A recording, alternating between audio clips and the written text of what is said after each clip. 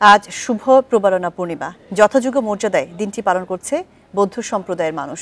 সকালে রাঙ্গামাটির জুরাছড়ি সুবলং শাখাবন বিহারে বুদ্ধ পূজা, পঞ্চশীল গ্রহণ, সংঘদান, অষ্ট পরিষ্কার দান, বুদ্ধমূর্তি, হাজার প্রদীপ সহ নানান দান কার্য সম্পাদন করা হয়।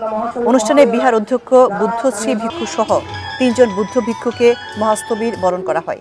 এদিকে বান্দরবানে প্রবারণা পূর্ণিমা উপলক্ষে শুরু হয়েছে বৌদ্ধ ধর্মাবলম্বী মারমা সম্প্রদায়ের তিন দিনের ওয়াগওয়াই পয় উৎসব সকাল থেকে বিহারে বিহারি গিয়ে পঞ্চশীল গ্রহণ করেছেন ভক্তরা। বিকেলে বুদ্ধ পূজা অনুষ্ঠিত হয় আর রাতে আয়োজন করা হবে পিঠা তৈরির উৎসব।